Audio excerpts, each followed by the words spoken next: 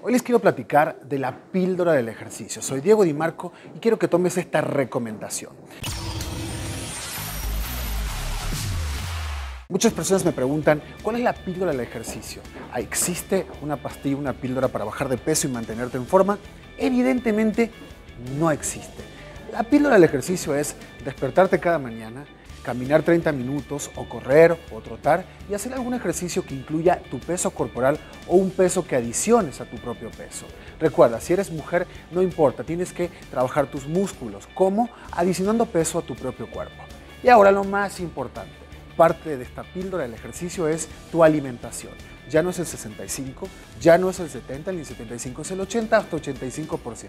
De lo que tú eres es tu plato y lo que te nutres. Así importantísimo, cada una de tus comidas que hagas al día incluye proteína, pollo, pavo, pescados, salmón, que es excelente.